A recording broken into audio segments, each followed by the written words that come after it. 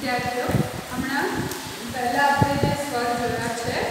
અ, આ, ઈ ઈ, ઉ ઉ.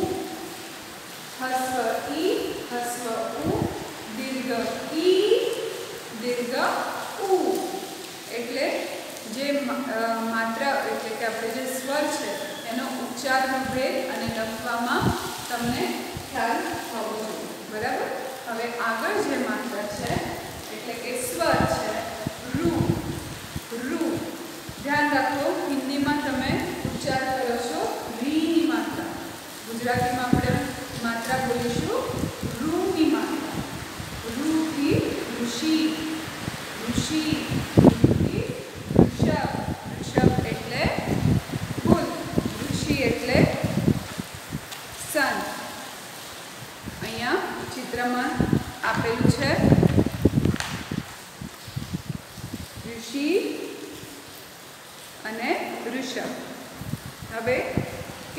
લખીશું જે અહીંયા પિંક રેડ લાઈન છે ત્યાં કઈ જ અહીંયા જે રીતે આપણે ઉની માત્રા ઈની માત્રા માટે આ લીટીનો ઉપયોગ કર્યો એવી રીતે અહીંયા નથી કરવાના બે લાઈનની વચ્ચે આપણે લખીશું પહેલા સ્લાઇન્ડિંગ લાઈન પછી ત્રાસી line standing line then put the curve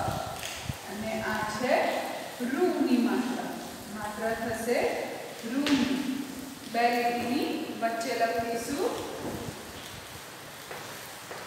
રૂની માત્રા રૂથી ઋષિ રૂથી ઋષિ રૂ પછીનો અ, સ્વર છે વિદ્યાર્થીઓ એ એ સ્વર અ આ ઈ ઈ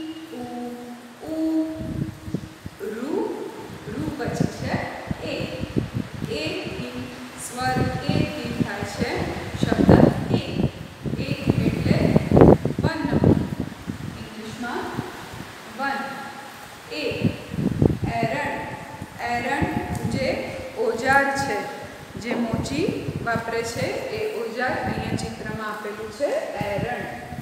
એરણ. હવે આ એમાં સ્વર છે, એ સ્વર કેવી રીતે લખીશું? અ લખતા આવડે છે, અ, આ. બરાબર? અ લખ્યો સેમ એવી રીતે આ બે લીટીની વચ્ચે અ લખીશું.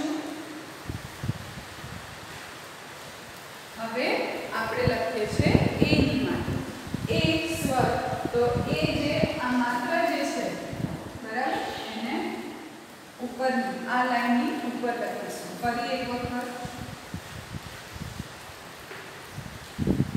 એ ઉચ્ચાર થશે એ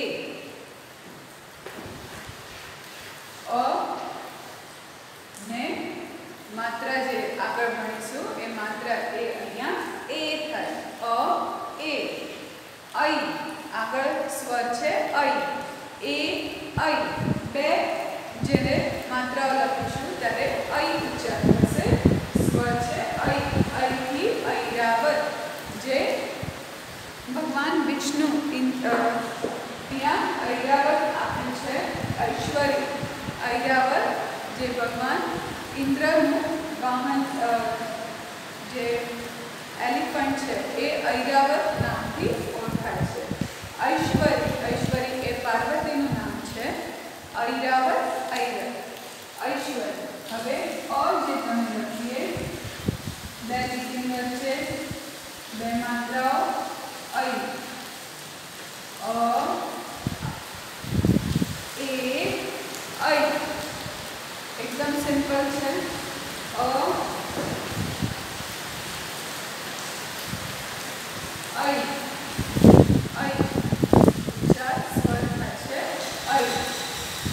तो विद्यार्थियों बने जी मात्रा में तब अभ्यास करो जला स्वर में अभ्यास